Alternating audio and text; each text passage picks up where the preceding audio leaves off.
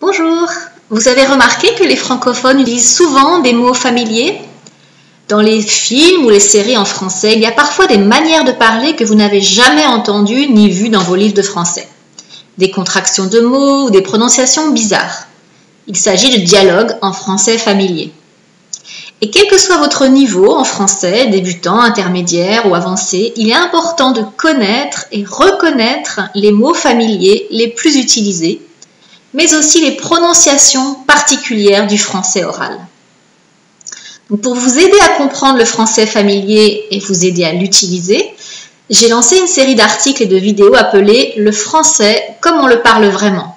Hein, vous avez déjà découvert 20 mots du quotidien en français familier et 20 verbes courants en français familier. Les liens s'affichent. Et sur la page Facebook Nathalie Fleu, je vous propose aussi très régulièrement des expressions familières très utilisées. Si vous n'êtes pas encore abonné à Nathalie Fleu, Facebook, n'hésitez pas, cliquez. Mais si vous êtes un ou une fidèle de Nathalie Fleu, vous avez déjà appris beaucoup de mots et expressions. Mais est-ce que vous vous en rappelez? Apprendre un mot nouveau et s'en souvenir, ce n'est pas la même chose. Hein, pour vous mémoriser du vocabulaire nouveau, il est important de le relier avec des mots que vous connaissez déjà et de l'utiliser rapidement. Hein, si vous avez déjà suivi mes 7 conseils pour mieux mémoriser, vous le savez. Donc c'est pour ça qu'aujourd'hui je vous propose de découvrir en vidéo un dialogue imaginé entre deux jeunes gens. Voici les personnages. Lina et Ben. Ils sont frères et sœurs. Ils ont 23 et 20 ans et sont étudiants à l'université. La scène du dialogue se passe dans la chambre de Ben. Donc c'est un dialogue sans sous-titres et à vitesse normale, c'est-à-dire à la vitesse où parlent les francophones natifs.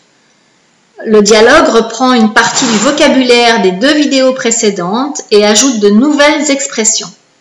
Ainsi, vous allez vérifier si vous avez bien mémorisé le vocabulaire précédent et découvrir des expressions en contexte.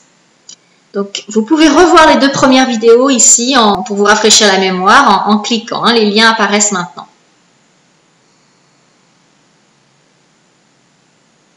Les articles contiennent plus d'informations et je vous conseille de les lire également hein, concernant le français familier, donc des explications mais aussi des liens vers des exercices. Bon, vous êtes prêts pour écouter ce dialogue? Donc, je vous rappelle que ce dialogue n'a pas de sous-titres et qu'il est assez rapide. Hein. donc, je vous conseille donc d'écouter deux fois le dialogue. Et ensuite, je vous propose des explications sur les mots et les expressions familiers. Vous êtes prêts? Allez, on commence. Salut, qu'est-ce que tu bidouilles dans ta chambre? Tu roupilles? Non, je passe mes cours, je m'éclate pas, tu peux me croire. Tu t'en sors? Bof, je piche pas tout, j'ai un examen demain et je crois que je vais me planter. Je flippe et je suis crevé en plus. T'inquiète, tu vas assurer demain. Je vais te filer un coup de main. File ton bouquin que je mate le truc. Merci, t'es cool, Frangine. Pas de souci. Génial, on peut souffler maintenant. Ouais, tu m'étonnes. On va retrouver les potes pour se marrer un peu? Ouais, mes fringues, c'est ok? Euh, Ouais, dis donc, euh, t'as du fric? Moi, j'ai que dalle. Bille pas, je t'invite, je te dois bien ça. On prend ta bécane? Non, ça caille trop. Je sens qu'il va flotter. Ok, ma bagnole alors. Ouais, ça vaut mieux. Ok. Ton pote Marc pourrait venir avec nous, tu l'appelles? Non, laisse tomber. Vous vous êtes engueulé Non, il s'est barré à la fac. Alors, comment vous avez trouvé ce dialogue? Difficile C'est assez rapide, hein, comme je vous l'ai dit. Donc n'hésitez pas à l'écouter deux, trois fois même si nécessaire pour essayer de comprendre l'essentiel du contenu, d'avoir une compréhension globale. Maintenant, je vais vous expliquer en détail les expressions, les mots, les phrases que vous avez entendues. Allons-y. La première phrase. Lina. Salut, qu'est-ce que tu bidouilles dans ta chambre? Tu roupilles? Salut, qu'est-ce que tu bidouilles dans ta chambre? Tu roupilles? Donc là, nous avons tu bidouilles, qui en fait veut dire tu fais. Qu'est-ce que tu fais dans ta chambre? Et tu roupilles, tu dors. Hein? Donc en bleu, vous verrez apparaître systématiquement les mots du français standard. D'accord? Donc le dialogue est en français familier et je vous donne des explications en français standard ou ce qu'on appelle aussi le français courant. Continuons. Ben. Non, je bosse mes cours. Je bosse mes cours. Donc là, vous avez je bosse, hein, qui est je travaille. Donc là, vous voyez qu'il y a une contraction de je bosse, hein, donc le je devient j apostrophe. Donc là, ça ne s'écrit pas vraiment comme ça. Hein. Je l'ai transcrit comme ça parce que c'est comme ça que vous l'entendez en français familier. Mais la forme correcte est je, évidemment. Hein. Donc je bosse mes cours, on peut le traduire par je travaille ou j'étudie. Et vous voyez aussi que la prononciation de non est non, non. Hein, en français familier, français oral, très souvent vous allez entendre non. Et en fait, c'est non. Ok? Je m'éclate pas. Je m'éclate pas, tu peux me croire. Donc, je m'éclate pas, c'est je ne m'amuse pas. Je ne m'amuse pas. S'éclater, c'est s'amuser. Mhm. Et tu peux me croire, on peut aussi dire crois-moi. Tu peux me croire, crois-moi. Lina, tu t'en sors? Hein, Donc ça c'est le titre de notre dialogue. Tu t'en sors. Alors tu t'en sors qui signifie tu y arrives. Ça va? Ben, bof, je piche pas tout. Donc en fait on pourrait aussi le dire en français courant, pas trop, hein, bof, pas trop. Je piche pas tout, je ne comprends pas tout. Hein. Piger, c'est comprendre. Ben, j'ai un examen demain et je crois que je vais me planter. Donc ici, il y a plusieurs mots familiers.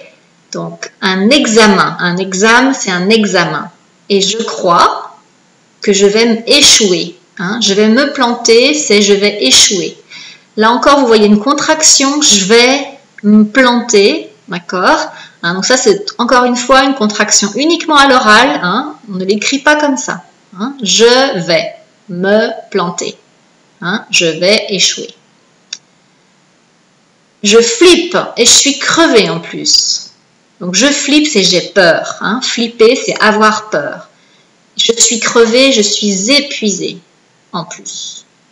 Être crevé, c'est être épuisé. Lina, t'inquiète, tu vas assurer demain et je vais te filer un coup de main.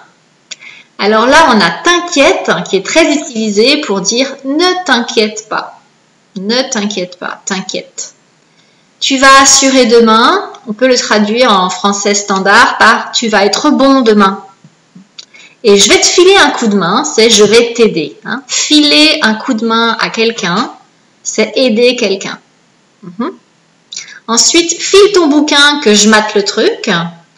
Donc, file ton bouquin, c'est donne-moi ton livre. Hein. Filer quelque chose, c'est donner. Un bouquin, un livre.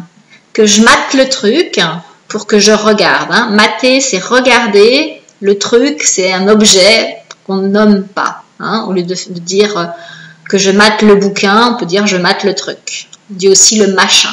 Mhm. Ben, merci, t'es cool, Frangine. Bon, t'es cool, hein, évidemment, ça vient de l'anglais, on l'utilise beaucoup. On pourrait dire en français courant, t'es gentille, mais t'es gentille et assez peu utilisé par les jeunes. Frangine, c'est une sœur. Hein. Une frangine est une sœur. Frangin, masculin, un frère. Frangine, une sœur. Lina, pas de souci. Alors, pas de souci, c'est une façon de dire je t'en prie, pas de problème. Hein. Donc, euh, c'est une réponse à un remerciement. Pas de souci. Ben, génial. On peut souffler maintenant. Donc là, c'est après leurs 30 minutes de travail. Ah, génial, on peut souffler maintenant. Donc souffler, c'est se relaxer. Hein. On utilise ce mot souffler après un grand travail. En général, on a besoin de se relaxer.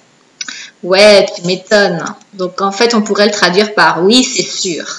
Donc là, vous voyez que oui et ouais, hein, à l'oral, en langage familier, ouais. Et euh, tu m'étonnes, on pourrait dire c'est sûr. En fait, c'est quelqu'un qui confirme. Hein. Quand vous confirmez quelque chose qu'on vous a dit, ah ouais, tu m'étonnes. Donc oui, bien sûr. Ben, on va retrouver les potes pour se marrer un peu. Donc là, vous avez les potes, hein, qui sont les copains, les amis. Pour euh, se marrer un peu, c'est s'amuser. Hein, s'amuser. ouais, mes fringues, c'est ok. Mes fringues, mes vêtements, c'est ok. Mais là encore, hein, c'est de l'anglais qu'on utilise beaucoup. Ok, ça va. Mhm. Ouais, dis donc, t'as du fric? Moi, j'ai que dalle. Donc, ouais, au fait, dis donc, dis donc, hein, c'est une expression familière hein, pour euh, quand on veut intervenir. Euh, quelqu'un dit quelque chose qui nous fait penser à, autre chose. au fait, dis donc. Mhm. Euh, tu as de l'argent, hein, le fric c'est l'argent, donc t'as du fric, là encore c'est une contraction, hein, t'as du fric, on ne l'écrit pas comme ça normalement. Tu as du fric, tu as de l'argent. Moi, j'ai que dalle. Alors, que dalle, ça veut dire rien, rien du tout. Donc, moi, je n'ai rien. Hein, Sous-entendu, je n'ai pas d'argent. Je n'en ai pas. Ok? Moi, j'ai que dalle. Et Ben répond, te bille pas, te bille pas, ne bille pas. Je t'invite, je te dois bien ça. En fait, c'est ne t'inquiète pas, hein, te bille pas. Donc là, j'ai écrit ne bille pas, en fait, c'est te bille pas plutôt. Je t'invite, donc là, inviter quelqu'un, c'est en fait quand on, paye pour la personne. Hein. Si vous invitez quelqu'un, donc vous payez pour cette personne. Donc je vais payer pour toi. Et je te dois bien ça. Une petite expression en fait pour dire que tu le mérites. Je te dois ça. Hein. Donc là, dans la situation, euh, Lina a aidé son frère, donc il a comme une dette vis-à-vis d'elle. Donc je te dois bien ça. Lina, on prend ta bécane Donc bécane, c'est une moto. Hein. On prend ta moto. Ben non, ça caille trop et je sens qu'il va flotter. Donc ça caille trop, c'est il fait trop froid. Cailler, c'est euh, faire froid. Hein, ça caille et je sens qu'il va flotter, donc j'ai l'impression qu'il va pleuvoir. Hein. donc pleuvoir, c'est flotter. Et très souvent, dans le langage oral, au lieu d'entendre qu'il va flotter, vous entendez qui va flotter. Donc moi, je l'ai écrit Q-U apostrophe Y, mais c'est pas une écriture correcte, hein. c'est juste une transcription de l'oral. D'accord? Ensuite, Lina, ok, ma bagnole alors ma voiture, une bagnole, une voiture. Ouais, vaut mieux, ou ça vaut mieux. Hein. Donc, il vaut mieux, c'est préférable en fait. Hein. Ça veut dire c'est préférable, c'est mieux. Mhm. Lina, ton pote Marc pourrait venir avec nous, tu l'appelles? Donc là, dans cette phrase, ton pote, c'est ton copain. Mhm. Eh ben non, laisse tomber. Donc laisse tomber, qu'on pourrait traduire en français euh, standard par oublie cette idée. Hein, c'est euh, non, oublie cette idée, c'est pas la peine d'en parler, laisse tomber. D'accord? Très utilisée cette expression, laisse tomber. Lina, vous vous êtes engueulé Donc vous êtes engueulé, c'est vous êtes disputé. Hein. S'engueuler, c'est se disputer. Ben non, il s'est barré à la fac. Il s'est barré à la fac, c'est il est parti Hein, se barrer, c'est être partir. Et à l'université, en fait, on, utilise beaucoup le mot la fac, hein, qui vient du mot faculté. Donc pour dire l'université, on va dire à la fac. Donc voilà, vous avez plus d'explications sur ce dialogue. Alors, vous avez mieux compris? Ah, J'espère pas que vous allez me répondre non, que dalle, j'ai rien compris, j'ai rien pigé. Non, s'il vous plaît. bon, est-ce que vous voulez vérifier ce que vous avez compris et mémorisé? Alors, Je vous propose un quiz rapide. En fait, je vous propose deux quiz pour le prix d'un. Hein. Donc, vous pouvez retrouver sur l'article, euh, dont le lien s'affiche ici encore, euh, donc deux quiz qui reprennent le dialogue que vous venez de découvrir. Donc, le premier quiz est le plus facile.